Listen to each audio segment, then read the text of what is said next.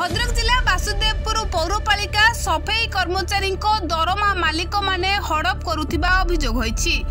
ଦରମା ଦେବାରେ ଆଜିକାଲି କରି ହଇରାଣ କରୁଥିବାରୁ ସଫେଇ କର୍ମଚାରୀମାନେ ଧାରଣାରେ ବସିଥିଲେ। ତାଙ୍କର ସୁପରଭାଇଜର ଆସି କର୍ମଚାରୀମାନଙ୍କୁ ବୁଝାଇବା ପରେ ସେମାନେ ଧାରଣାରୁ ଓହରି ଯାଇଥିଲେ।